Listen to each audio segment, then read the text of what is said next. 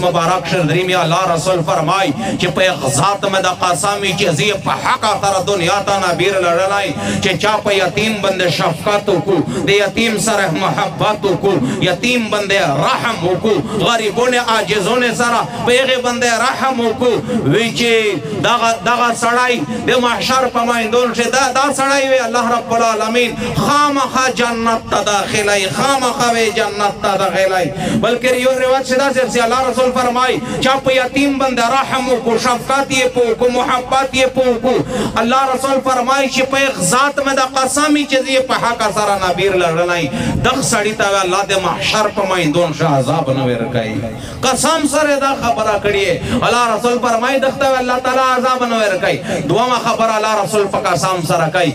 الله رسول فرمای په ذات مې د قسم چې زی په حق سره دنیا ته نابیر لګلای وی چې کیم د ایک سړی صدقه وي د محشر په مایندون شه الله قابل نه کی چې صدقه دای کوي او خپل رشتہ دار شه غریبون شتا ګوندون شه محتاج شتا پاشه ضرورتمن شتا خدای هغه خپل صدقه او زکات او هغه خیر خیرات وړي نه را کلی ته نه را خلق ته ورکای الله رسول قسم خوړل دا الله رسول قسم خوړل دا چې د صدقه وي د محشر په مایندو ان شاء الله قبول نه کی د صدقه وي قبول نه شي د رشتہ دار عزت مند رشتہ د دور سره تک ډېر حق تا اے په یو ځای باندې وي د نو غلطیا کې رسوا کې خو غریب دا ته د صدقه رب د رضا د پوره پکاوي به تو ته دوا اجرې نه ملاوېږي یو د رښتې د وجې نه سیله رحمي اجر درته ملاوېږي او بل د دې وجې نه چې ته صدقه کوې صدقه دې یوړله بل کلي ته په غریبونه دې ولګوله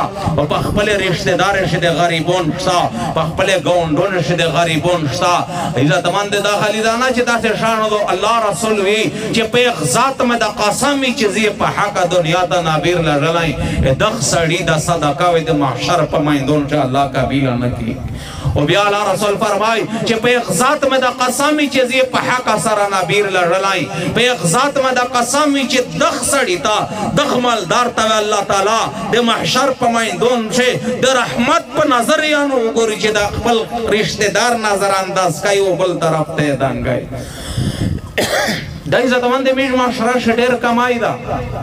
اے رشتہ دارې طرف نه خامہ کلش کی 19 20 خبر سی په دې پوجا خو اجر ډیر د چې تو نفس یې نو خلی کې دا دا سدا دا دا سدا و تو رشتہ دو تو سره وینا ګټه دو ته ګاونډي دا دای محتاج دا دای غریب دا د بندې و صدقه کوي لار بار و صدقه نوړې الله رسول فرمایي چې د صدقه الله نه قبلای الله رسول فرمایي چې د سړی ته الله تعالی د رحمت په نظر باندې نه ګوري عزت باندې ډېر خلک موتا په دې معاشره شي ګرځم چې خپل ورر یې دمره محتاج وي دمره محتاج وي چې مو زړه پوس وي چې دا سویر کا ودای کورړ پتی او لک پتی او ورر طرف پلستر غنو رړای ورر پلستر غنو رړای غریبي محتاج وي